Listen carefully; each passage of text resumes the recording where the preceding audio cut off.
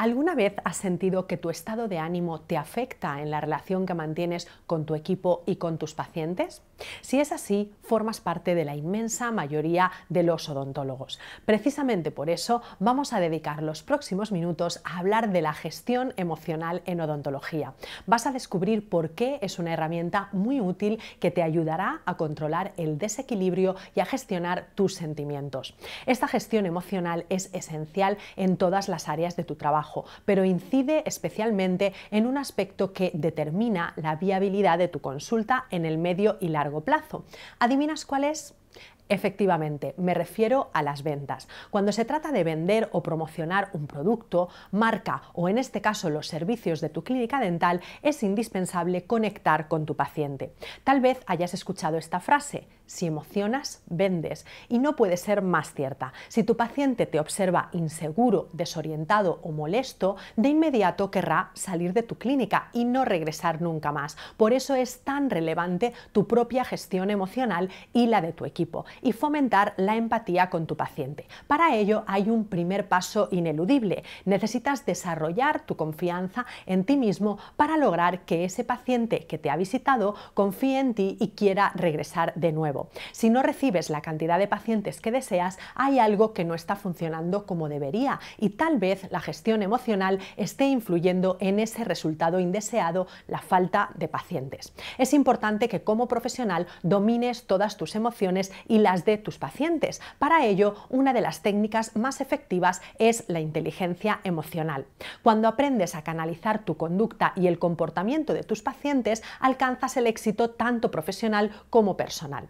Ahora quiero compartir contigo una serie de consejos y recomendaciones que estoy segura te ayudarán a fortalecer tu relación emocional contigo mismo y con tus pacientes. Acompáñame a conocer por qué es importante la gestión emocional en odontología. Adelante. Estudiar y comprender las emociones de uno mismo y de los demás es un trabajo complejo y esto lo digo porque todos tenemos momentos buenos y otros que no lo son tanto. Como profesionales, nuestra misión es aprender a canalizar nuestra conducta, pero aún hay algo más. Es importante que comprendas que cuando hablo del manejo de las emociones no me refiero solamente a cómo atiendes al paciente, sino de tu capacidad de liderazgo con tu equipo de trabajo. Necesitas ser un buen líder y establecer estrategias para saber cómo motivar a tu equipo de manera individual. Si cada una de las personas que te rodean se sienten identificadas con tu visión, unidas con armonía y pasión. Y el primer paso para ello es compartir los mismos valores. Durante la carrera de odontología nos enseñan numerosas técnicas. Invertimos horas y horas en leer libros y realizar innumerables prácticas para lograr conocimientos sólidos dentro de nuestra profesión. Pero ¿has pensado si en tu formación como odontólogo te enseñaron a conectar con tus pacientes por medio de las emociones? Esta pregunta es fundamental para todos los profesionales que trabajamos en el ámbito de la salud. Muchas veces se nos olvida que trabajamos para el servicio de otras personas que buscan en su odontólogo la ayuda que necesitan para sentirse mejor. La relación médico-paciente es fundamental, pero lo más importante es que ese nexo sea espontáneo y sincero. Pero ¿cómo actuar emocionalmente con tus pacientes? No basta con que seas conocedor de complejas técnicas odontológicas, necesitas algo más para conectar con tus pacientes. Ten en cuenta que toda aceptación de presupuesto es, ante todo, una decisión emocional. Por lo tanto, la inteligencia emocional es fundamental para tu éxito.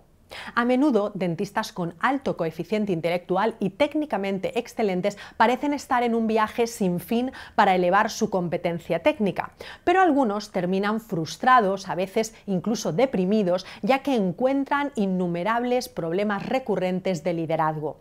Además, no importa cuánto aprendan, ya que no pueden lograr que la mayoría de los pacientes elijan sus servicios. Al mismo tiempo, hay odontólogos bien entrenados, con una capacitación técnica más limitada, que tienen clínicas de éxito y pacientes que desean los tratamientos que les ofrecen.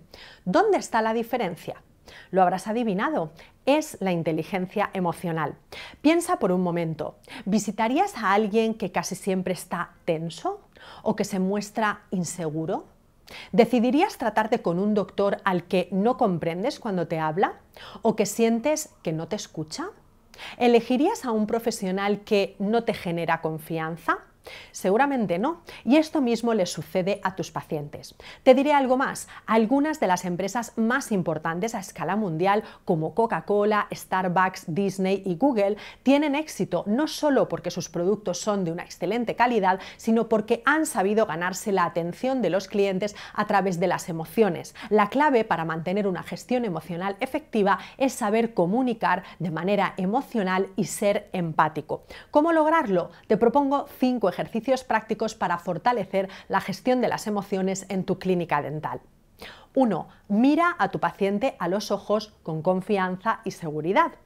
2. Deja a un lado tus miedos, problemas y preocupaciones personales y concéntrate en lo que tu paciente quiere decirte. 3. Escúchale con atención y muéstrale que te preocupa sinceramente. 4. Explica a tu paciente el porqué de su dolor y las técnicas que aplicarás para ayudarle. Y 5. Trabaja sus emociones. Para ello puedes valerte de herramientas de comunicación como el humor, las anécdotas o las vivencias. De esta manera el paciente se sentirá cómodo y en confianza. Ser un odontólogo de éxito implica tener excelentes conocimientos científicos y técnicos, pero también trabajar con inteligencia tus emociones. Un paciente fiel regresa no solamente porque su doctor ha solucionado su problema bucal, sino también porque se siente comprendido y en confianza con su odontólogo. Ahora quiero hablarte un poco más de la inteligencia emocional. A principios de los 80 nació un concepto que daba respuesta a una cuestión hasta entonces inexplicable, que provocaba que determinados ejecutivos formados en universidades de prestigio y alto coeficiente intelectual tuvieran unas carreras estelares y otros no alcanzaran la cima de los negocios. McClellan, Daniel Goleman y Robert Cooper descubrieron que había un elemento en la ecuación tan importante como el coeficiente intelectual. Se trata de la denominada inteligencia emocional. Los estudios de investigación realizados sobre unas 2.800 estrellas de Harvard muestran que el 75% del éxito de los alumnos de alto rendimiento proviene de la inteligencia emocional, mientras que el 25% proviene de la competencia técnica necesaria. La inteligencia emocional se define como nuestra capacidad para reconocer nuestros propios sentimientos y los de los demás, para motivarnos a nosotros mismos, para manejar bien las emociones en nosotros y en nuestras relaciones. La inteligencia emocional implica cuatro dominios clave, autoconocimiento, autogestión, conciencia social y gestión de las relaciones. Pero ¿en qué se traducen estos cuatro pilares de la inteligencia emocional? Incluyen todo lo siguiente. Conocer tus propios sentimientos y emplearlos para tomar decisiones en tu vida con las que te sientas bien. Manejar tu vida emocional sin ser secuestrado por ella persistir frente a los contratiempos mientras canalizas tus impulsos para perseguir tus objetivos. Leer las emociones de los demás sin que tengan que decirte lo que sienten. Gestionar los sentimientos en tus relaciones profesionales y personales con habilidad y armonía. Daniel Goleman dice que carreras como la ingeniería, el derecho o la medicina, donde la selección profesional se centra en las habilidades intelectuales, la inteligencia emocional tiene mucho más peso que el coeficiente intelectual para determinar quién emerge como un líder. Y es que el clima emocional que proyectas como profesional causa una percepción de seguridad y confianza en tus pacientes. De ello dependerá que el paciente acepte las recomendaciones y el tratamiento que le indicas por tanto, la inteligencia emocional es un concepto de vital importancia para tu formación como odontólogo.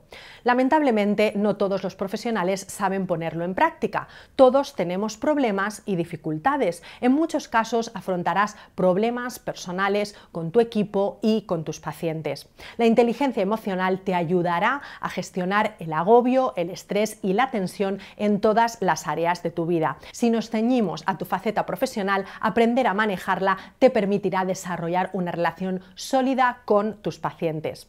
Pero, ¿cómo empezar a gestionar las emociones? 1. Reconoce tus propias emociones. ¿Eres capaz de detectar cuándo estás molesto y qué es lo que te molesta? Si no reconoces que estás molesto, puedes proyectarlo a tu paciente. Si has tenido una mala interacción con alguien, ¿lo trasladas a la siguiente persona que ves? ¿Te pones nervioso cuando tienes que presentarle un caso complejo a tu paciente? ¿Se te nota? ¿Te lo nota? La autoidentificación de lo que te afecta es esencial para lograr tu máximo rendimiento. 2. Autocontrol emocional. ¿Cómo reaccionas ante un imprevisto? ¿Y ante una urgencia? ¿Te molesta cuando alguien rechaza tu plan de tratamiento? ¿Puedes controlar cómo reaccionas a los estímulos negativos? Ten en cuenta que puedes perder instantáneamente a un paciente con una mirada de reojo, un microgesto facial o alguna señal física que le suscite desconfianza.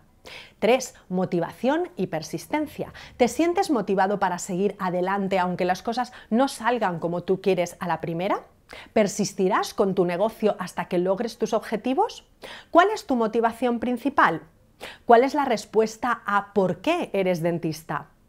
4. Maneja con éxito las relaciones. Esta es una combinación complicada de habilidades y actitudes que te conducirán al éxito o al fracaso, a un rendimiento de alto nivel o a la mediocridad. La buena noticia es que la investigación ha demostrado con una precisión sin precedentes que, a diferencia del coeficiente intelectual con el que naces, todos podemos mejorar nuestra inteligencia emocional con estudio y entrenamiento.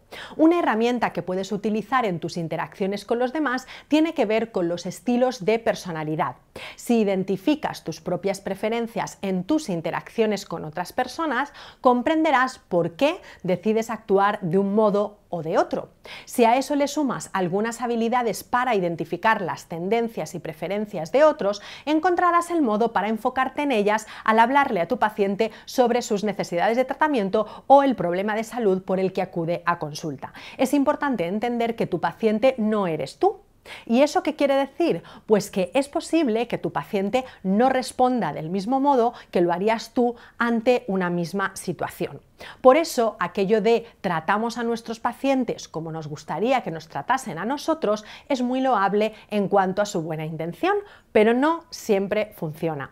Se estima que el 75% de las personas prefieren que les traten de una manera diferente a como tú elegirías ser tratado y esto puede estar en conflicto con tu forma habitual de hacer las cosas. La idea es establecer una relación armoniosa entre paciente y doctor. Ten en cuenta que tal vez su relación contigo no dependerá de un una sola consulta. Muchas veces necesitará mantener una relación profesional por mucho más tiempo y por lo tanto de tu actitud como profesional dependerá éxito. Cuando un paciente entra a tu consulta con una actitud negativa, debes tratar de cambiar esa postura y lograr que ese paciente cambie su forma de pensar. Quizás puedas pensar que este es un trabajo para psicólogos, pero no es así. Un odontólogo debe ser un profesional integral capaz de comprender, utilizar y manejar las emociones. Si pones en práctica las recomendaciones que te estoy comentando, notarás el cambio y cada vez llegarán más pacientes a tu clínica. Porque cuando un paciente se siente satisfecho, cómodo y conforme con tus servicios, se lo dirá a otras personas.